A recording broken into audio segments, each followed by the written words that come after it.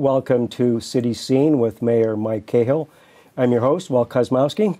Your Honor, welcome. Hey, Walt, how you doing? Good, good. This is uh, our first show of 2020. It is Happy New Year, and since it's February, Happy Valentine's Day. Well, gee, I didn't think you'd remember. Um, you know what? What I thought we would do today, I, I have a whole list of um, things that you know, projects and, and things around the mm-hmm. city, and maybe we'll kind of look around Beverly the show, and you can kind of comment on what's happening. But before we do that, there there have been some changes in city personnel here, mm-hmm. and maybe uh, you could bring our, our viewers up to date uh, on that. And and the first one, your, your chief of staff, Kevin Harutunian, left to become the town administrator. What's his official title up in? Town administrator of the town of Topsfield. T- uh, town administrator. So so tell us what's uh, what's happening with what's happened with uh, his position. Sure. Well, first, Kevin Kevin left right around Thanksgiving. Yeah. Um, and you know, I told him about three years ago. I said, "You're going to leave to run your own community eventually," and I'm just glad we had him for six years. Yeah, because Kevin's a wonderful man, an incredibly man. talented person, and he did a lot of great work for us. And and yes, now he's doing his work in Topsfield. Yeah. Have you heard um, from him? Still recently? living in Beverly. I was out to dinner with him the other night. Yeah. Yes, uh, he's doing great. Yeah, doing wonderfully. Does he yeah. regret what he did? No, no regrets. he misses us, but no regrets. I think I think he's uh, he's got a lot of really interesting and, and, important work to do there, and he's he dove right in. Yeah. which would be well, expected. that that's typical of him. Yeah, yeah. No, he's got an incredible work ethic. Yeah, and and we have kind of you know re.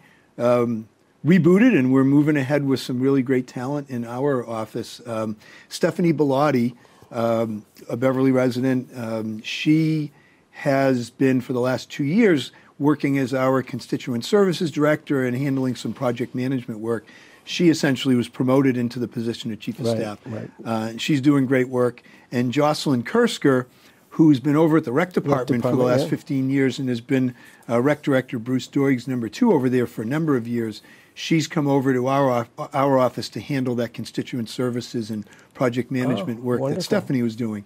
Um, and we still have Martha Lewis, and nothing gets done without Martha, yeah, Martha executive yeah. secretary. So yeah. we, have got a great team. Yeah, and I, have already had a chance to uh, work with Stephanie Bellotti on a, on a couple BevCam related uh, things. Now, also um, uh, in terms of the city staff, uh, Wes Slate has uh, has retired. any any word on what, how that process of replacing Wes is yeah, going? so the, the city council put together a search group of, of a, a, few of the councilors, and they are in the process of interviewing, is my understanding. And um, Wes's last day officially comes up soon, um, but he's been uh, been using some unused vacation time, really. So his last day in the office was last month. Uh, but they're looking to fill the position within the next several weeks. Right. I know that. And Lisa Kent, the assistant clerk, has been serving as, in an interim capacity right, as right. city clerk. And I, I, like to make sure our viewers know that the, the city clerk doesn't report to the mayor, the city clerk reports to the city council, correct? Yeah, so, the city clerk and the other uh, employees in that office are all uh, hired by and overseen by the city council. The city That's council. part of our city charter. Right. Is, is how that's uh, right. organized. And we, we've just heard that uh, um, Anna Langstaff, uh, the Beverly. No, you, you may have just heard it, but I heard it a while ago. We're still in mourning. Anna, Anna Langstaff is fantastic. Yeah. I, have been so um, happy to and privileged to get to work with her. And you know, Yeah. she's worked at the library for decades. Yeah. She's been our library director for the last few years, and she'll be retiring uh, later this spring. And the library board of trustees has put together a search committee, and they also are in process of, of interviewing candidates to become our new library director. Yeah. So yeah, and, and we both know uh, Anna from uh, our Rotary Club, Beverly Beverly Rotary Club. Yeah. So let's let's let's get on to some of the activities that are going al- uh, on along town. So I'll I'll ask you about the uh, long-awaited waterfront restaurant down at the base of the bridge uh, on the old uh, Yes. McDonald's, uh, so-called McDonald's property. Tell us about that. Very exciting. It- As you know, Marty Bloom, who owns the uh, Mission on the Bay in Swampscott, Mission Oak Grill in Newburyport, a couple of other restaurants in the South End in town, and, and used to be the owner of the Vinny Testa chain of restaurants. He's, he's got a long history of, of successful uh, building and managing of, of high quality restaurants. Marty uh, got his proposal permitted uh, locally. The planning board approved the, um, uh, the required special permit uh, before the holidays. Uh, I'm not sure exactly when. It might have been late November, early December. You know, everything's a blur when you look back before the holidays to now. But at any rate, um, very excited. Marty and team have submitted their applications to the state for their um, uh, Chapter 91 license and their MEPA permit. uh, and those processes are now going because they take some time. And the goal is to get him uh, through that permitting process and in the ground with construction by late summer, early fall. We are going to be um, taking the old McDonald's building down and having the site the site ready for them to come in. Uh, that was part of the city's commitment during the RFP process. So we'll be uh, we're scheduling to do that work this spring. Um, and the hope is still the, the target is still that he'll open that restaurant a year from this summer. A year from the summer, okay. And so we, we should expect to see the wrecking ball come down on the old McDonald's uh, uh, sometime you say this spring? Like yes. a few months from yeah. now. Might be a little, here, little more nuanced than a big old wrecking ball, but Well, yes, the building's coming down. I think you know what I mean. Yeah, so because we're sitting here, it's February, what, 12th today? or Yes, it 11th? is. Uh, Is it something like that? Yeah. Isn't so, Lincoln's birthday? Uh, well, yeah, I guess President's Day is next Monday. Yeah. So uh, now um, I want I'm going to hold up something here and ask you to talk about. Ask our our, our uh, camera person to zoom in on that. And we've seen a little bit of activity if you if you drive on 128 between Brimbal Avenue and Essex, as I do every day. Um, there- on that landfill, there's some things going on, and uh, a solar farm, uh, Blue Wave, is uh, putting up a uh, a solar farm array, 12,000, I guess, panels. Like, Tell us a little bit about that. What's Free happening? advertising for Paul Leighton and the Salem News there. That's nice. Picture. So um, we're excited about this. This actually has taken a long time to get Yeah, permitted. I imagine. Um, however, it's a great project. Uh, that's the old city landfill between Brimbal Ave and, and Centerville on the highway northbound. Um, Blue Wave Solar is going to be building, in fact, they've started their work. Uh, they'll be building a five megawatt solar array um, that'll feed clean energy into the power grid.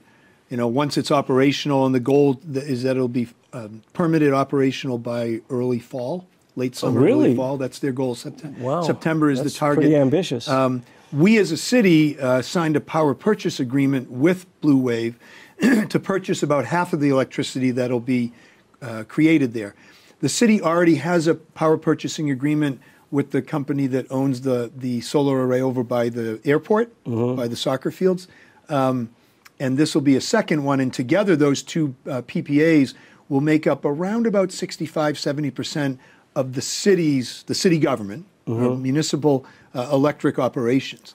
So for, for, you know, for our electricity and our, our buildings and, and all that.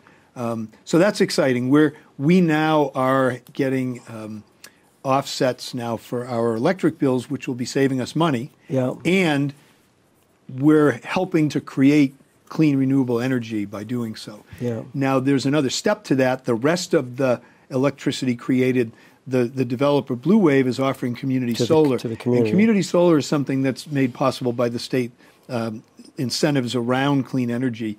Um, and so there are a number of companies that offer community solar. On this project, they're offering it locally, which is great. If you are not able to put solar panels on your rooftop because it's not south facing, doesn't get enough sun, or if you don't really want to go to that extent, you can, as a, a private property owner, resident or business, you can enter your own mini PPA with a company. Right. And you essentially save on your electric bill and you help underwrite the cost of building and operating the, the, the clean Right. renewable energy, which is a great win all around. Yeah. So I, I understand that the way I read in the article that people can save probably seven to eight percent on their bill. They will pay a, a Blue Wave uh, a, a check, of money for credits that they would get. So they'll get ten dollars more. If, if they pay ninety, they'll get hundred dollars Yeah. worth of credits against their bill. Put simply, say you get a bill for $120 from National Grid, but you do this community solar with, with Blue Wave or whomever is, who, who is hosting solar anywhere in, in the state, really.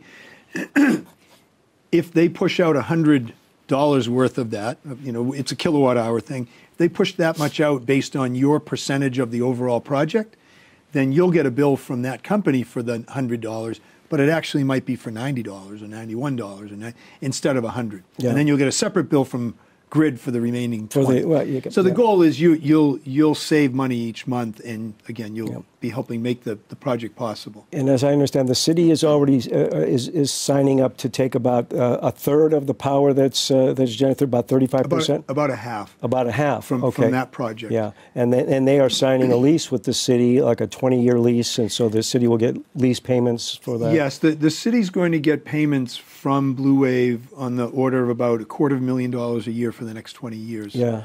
Uh, through a couple of different mechanisms for, you know, for us hosting them on our on our property. Right, there. right. So it's a win-win-win all the way Mm-hmm. around. The city gets some money, some taxes, and the, and, and some energy, and they they of course as a business thrive, and then the community also is able to save on their energy costs. Wonderful, wonderful. Um, now let me uh, let me hold up another article here if I can get our uh, our camera person to zoom in on this, and um, we'll give the Salem News uh, another. But So I'll do it quickly. I, I want Yeah. to talk about the police station and a couple other things. Well, we'll do that. So just tell us quickly what this is from Yeah. November, I mean, December 18th, uh, so, uh, dredging of the Bass River. Yep. And uh, so um, there was a problem with uh, testing of the, of the, So of the, the Bass River hasn't been dredged in about 70 years, and it really needs it. So for a number of years, our Harbor Management Authority has been working on trying to get this teed up. Um, we got approval from the Army Corps of Engineers about a year and a half ago. Um, they approved the project. They approved us taking the material that we would dredge and dumping it at their ocean dump site. right, And re- relying on that, we went to the state, applied for grant money. The state awarded grant money, went to the council to approve the match to the state grant money, and then we put an RFP out, awarded it to a dredge company who came to Beverly and mobilized to start dredging our river, only to find at at the, the very last, like the, not the the eleventh hour, really the twelfth hour, the Army Corps of Engineers said, "Oh, wait a minute." We, the Army Corps, and our friends at the Environmental Protection Agency, who awarded you this permit, messed up. We can't let you dump that out at the ocean site because it's not clean enough. yeah. We're really sorry that we messed up, but we have to tell you no. And by the way, we have no money to help you out with. So they, they, they've been, it's been frustrating. I will say that our, our, our congressional representative, uh, Sen- uh, Congressman Moulton, is working hard to try to get us some help through the, the federal budget. Uh, but still, we had a contractual, uh, you know, agreement with uh, the dredge company. We're working on that. Um, we also are retesting the sediments in the river to try to get a better handle on just what needs to happen next. Yeah. So that's where we sit with it. Well, it's frustrating, but we're Yeah. working at it. Well, thank you for that, Mayor. Well, now um, the police station. There's Mm-hmm. been a lot of a lot of stuff going on down there at, at the front of the Cummings Center. A lot of activity. So tell us what's happened so far, and maybe with the timetable into the future with the building Sure. of the new. So frowns, frowns for the dredge and smiles for the police station. We're really excited. Uh, you know, we've been working at this for a number of years, uh, and it's it's been designed, it's been permitted, and if you drive by, you see it's a full blown construction site. Yep. And they're working hard, and so they've been. We need to raise the level of the site by six feet because we we look ahead decades and say, okay, with storm surge that could happen with rising sea level, we need to protect the asset before we build it. Right. So we're raising up the level. Uh, it's being built uh, slab foundation, uh, no basement, and then it'll be Oh. a three-story building. Um, so we've got climate change and rising sea level in mind as we as we designed it. Uh, in addition, we are building a geothermal system which involves 30 some odd tunnels down under the ground. It'll be a system heating. It'll be a system that that uh, runs water through pipes into the ground. Now, you get down far enough underground, and it's pretty much a year-round constant 55 degree Yeah. temperature. And so, what you do is in the summer you cool that Right. water in the ground. In the winter, you warm it up by running it through the Yeah, ground. yeah. Um, it's a great system, and that'll handle our, our heating and cooling. And then, um, so that's in process, and you know the hope is by later this spring you'll start to see steel coming up. It's all about the groundwork first, kind of getting the site ready. We also, right up front, you've seen some trench digging. Uh, there are some utilities that run through the site that need to be relocated around the site uh, that service the Cummings Center. So we've been working at that piece too. Yeah. And I, I might say, I, I have heat pumps in my home, and I, I benefit Mm-hmm. Sure. from. We have the Mitsubishi's, the ductless heat pumps, and it does exactly that. During the during the summer, I cool my home because of the differential, Mm-hmm. and during the winter, I heat it. So it's uh, it's a, it's a wonderful, great technology. Great technology. Um, let me ask you. Um, the city has been working on a, on a. Can we stay with the police station for one minute? I, I just Go want ahead, to say that our target is to move the police in a year from this summer. So Okay, Summer be 20, 2021. 21. Yeah, and so that that's everything has been kind of geared towards you know trying to get the work done over the next at this point Yeah. another 15 months or so. Yeah. Now remind remind our viewers where the, the police police personnel are dispersed kind of in, in various places in the city. So that's going to kind of put everybody together. Where, where, where are they now? So Uh, you could probably fairly say that they outgrew that police station decades ago. Yeah. Right. Um, so our criminal investigations division is is up at the airport. Um, the uh, community impact officers, the um, um, um, the mental health counselor person that we have, and the domestic uh, violence counselor, um, the animal control officer, they're all off site in different buildings Yeah. where we either own or pay rent. yeah. So, So to, to get them under one roof, will, and when we move in there, we'll be moving the combined emergency dispatch. Right now, there's um, the 911 calls go to the police station. If fire is involved, they then, you know, transfer over to fire. Um, both of those operations will end up in the new police station, and at that point, it, so it'll be a combined system, and it'll be civilian run as opposed to currently the the fire operations are, are civilian dispatchers, but the police opera- operations are uniformed officers. Yeah. And the goal is is to make that all civilian and get those uniformed officers back into Back- in, you know out in the street Out in and, the street, yeah. and, and policing. So that that's all you know that's all exciting and it's and it's in the offing now. So uh, uh, summer uh, of next summer, 2021, uh, we want to. Okay. Um, so the master plan. I know that there have been meetings with uh, with uh, with uh, constituents, uh, with with uh, with our, our community. A lot of interest. Tell tell us where the master plan. I think it's been what 18, 20 years since our last master plan, something like that. 2002. Yeah, about, it, yeah, it's been about yeah probably 17 years. Yeah. Um, so we started this process a little over a year ago, and the goal was and continues to be to try to finalize its recommendations and its language and put that in front of the planning board later this spring. The state does not require us to have a master plan, but as soon as we start to write one, they start telling us what to do, which is interesting and fun. Uh, so, so it needs to be formally um, uh, adopted, approved, and adopted by the planning board. And in addition, we'll, we'll bring it to the city council to ask for their endorsement of it as a, you know, as a, a, a planning document as well. And it's exciting. It, you know, it covers a range of issues, including affordable housing and open space and um, uh, community services and um, just kind of overall, how, how does our community plan for and arrive at what it should look like in 10 years' time and 20 years' time? Yeah. Um, you know, the current master plan put a high priority on recognizing that we had and we continue to have a real need for more housing. Uh, really, at all for all types of people, kind of profiles of people, and all income levels, and that need continues. So that's a really important part of the overall set of recommendations: is where and how to provide that. Uh, how do we ensure the community is is walkable and sustainable and and you know really is continues to be a place where everybody wants to be.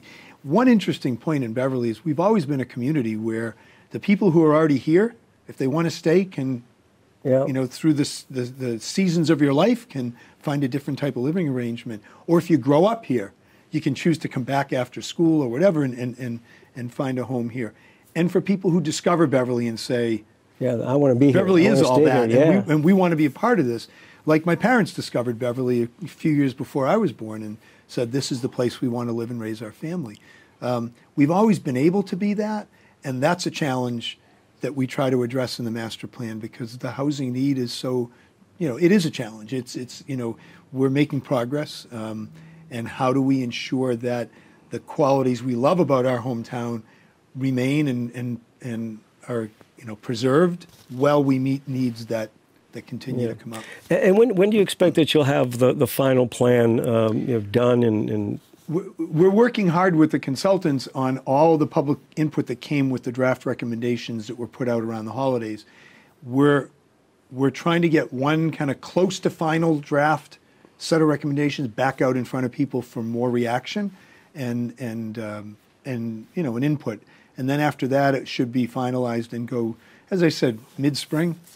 I mean, it's already mid-February. Well, well, yeah, Days well, run away fast. yeah. Mid-spring is the hope. Yeah. Okay. And, and, and speaking of plans, uh, I, I want to talk to you about something else that I understand that the city is beginning to work on a climate action plan as well, which is a little bit different than, than the master plan. Kind of tell us what the difference is and what, what, what do you see as the climate action plan? What is the purpose of that? Yeah. So we made a commitment to write a climate action plan.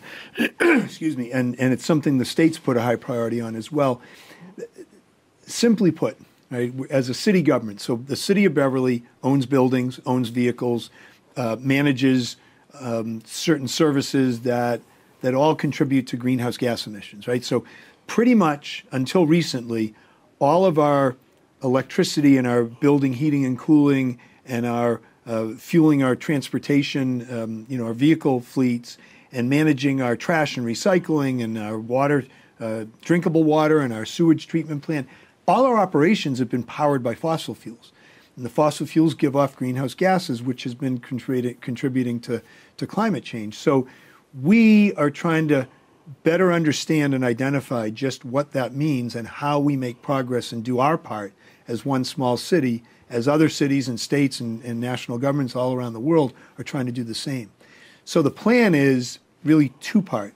The first part is um, a scientific kind of um, quantifying of our emissions. We as a city government, how much do we emit each year? The city as at large, every resident, every business, you know, every building in the whole city, how do you how do you kind of gauge and quantify and inventory those emissions? And then the next step with that is to project out what Beverly is going to look like based on expected uh, increased population growth, housing, economic investment. What do we project out for additional inputs in 10 years' time, in 20 years' time? And how can you set a peak and say, no matter what, we need as a community, individually and together, to drive our greenhouse gas emissions down? Yeah. And, and how do we get to really start that process? So that's all the first part. And then the second part is what are all the different things we can and should be doing to start moving the needle? You know, this, this solar field, it's going to create clean and renewable energy that's Sure. going to go into the grid and replace fossil fuel created energy. Right. Um, we're taking delivery on our first electric vehicle school bus. A full size school bus is coming here in August. It's going to be an EV, meaning it won't burn any, any diesel. It's, it's going to be battery charged electric. Yep. So, you know, that may feel like a baby step because we have 47 vehicles in the school bus fleet between buses, half buses, and vans, but it's a step. And, and we're just trying to get get moving on this this stuff. So we're doing some of it already. The plan will help us to bring into better focus what our need is and what the most effective near-term and longer-term action items would be or will be. Well, with, with uh, when you say climate, also would that also include? I know uh, we've been participating around the city in these seaside sustainability workshops, and of course, uh, climate change and, and increase in sea level and, and the effects on the shoreline and everything. Is that part of the uh, the climate action plan? as you Yes, it? it, it absolutely is. So I'm talking about mitigation, which is a word used for figuring out your emissions and starting to decrease them with replacing fossil fuel with clean and renewable energy. So that's the mit- they call it mitigation. The resiliency piece is what are we doing about the fact that the storm surges at high tide are getting worse? You know, and we've had flooding in, in, in along the Bass River, and we had some seawall damage with the nor'easter a couple of years ago at Lynch Park.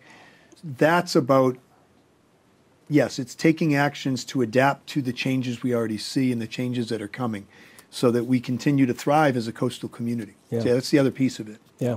Now, um, every year you you give your state of the city Hmm.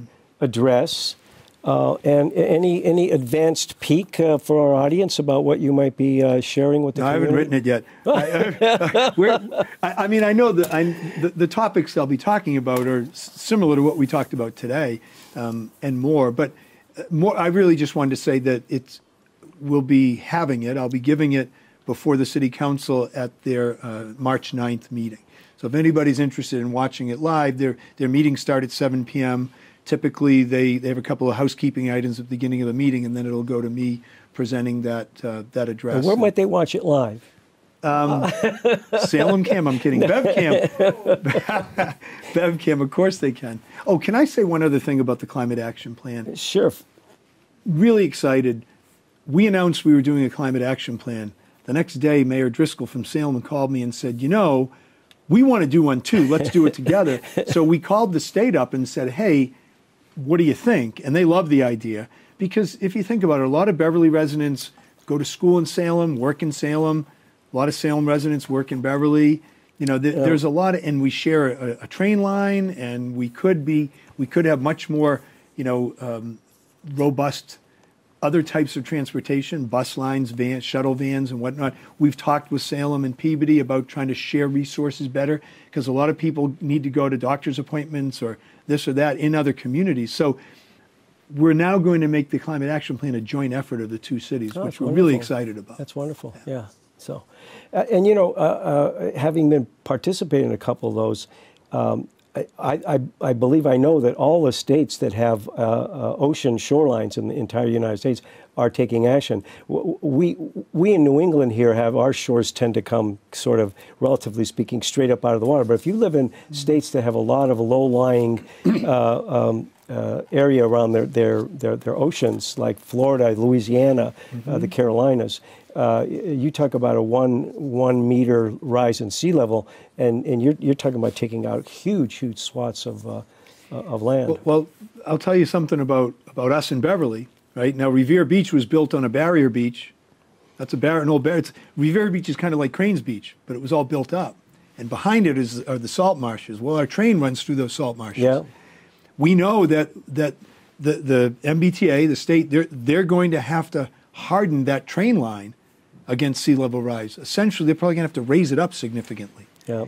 And, and so there's a massive investment that's going to be needed to make sure that our ability to continue to, to you know, live the life we're living and access you know, throughout the region for all purposes continues. So that's a good example right yeah, there. Yeah. So uh, um, our, I've been told we only have a couple minutes left, uh, Mm-hmm. Your Honor. So maybe any any final remarks you want to make? Uh, any any before uh, before we close? So, oh my gosh. Well, um, and I don't want to put the whammy on us. I was going to say it's, it's mid February, and and, and uh, We've had a know, mild we're- winter. we're we're we're hoping that the winter continues to be a, a, a, a forgiving one to us. Um, lots of great things going on in Beverly, as as always. Uh, I was able to get over to to the high school the other night and see the girls basketball team uh, at senior night. What a team we Oh, got this year! great, yeah. I think I think both both teams. Well, the uh, boys team's only got one loss this year. Yeah. Um, yeah, I mean, it's it's uh, there are a lot of great things that always happen in Beverly. Um, anybody watching wants to uh, wants to let me know what they're up to. You know, please do. We've been busy. It, it's it's been an exciting start You to the and, year. and, I, and I, I think it shows, Mr. Mayor. There's so much going on in Beverly, and so many, so many more improvements in the city that go to improving the quality of life of our of our community. That that, that and that's what it's all about, really. Uh, as as uh, Tip O'Neill is wont to say, all, all politics is local, and you want to if you if you keep that in mind, I think you can't go wrong. oh, absolutely. And, and let me say this for for our viewers: if anybody has a thought on who they want to see on on the next city scene or what they want us to talk about, because I, I you know I really should bring in some of our department heads as we talk about different topics. And So I think that's a great idea. If uh, they can if- let you know, they can let me know. Absolutely. So th- there you go. You heard it from the mayor. Well, I'd like to remind our viewers that you've been watching City Scene with Mayor Mike Cahill. I'm your host, Walt Kosmowski, and we'll see you next time.